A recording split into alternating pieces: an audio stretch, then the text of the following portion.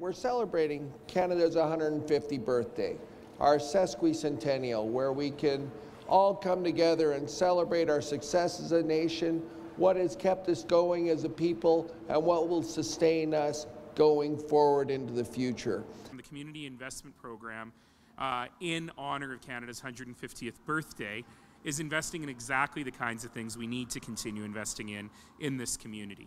And today we're announcing the funding of $2.6 million in 13 different projects, which will benefit this community going forward and leave a lasting legacy for uh, our future generations. I keep getting reminded of things in Calgary that happened because of the 1967 centennial.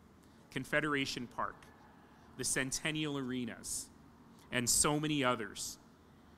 And I think that it is extraordinarily visionary of the federal government to use the sesquicentennial as an opportunity to invest in existing infrastructure as well as building new things. Let's get out and celebrate Canada's 150th birthday all together.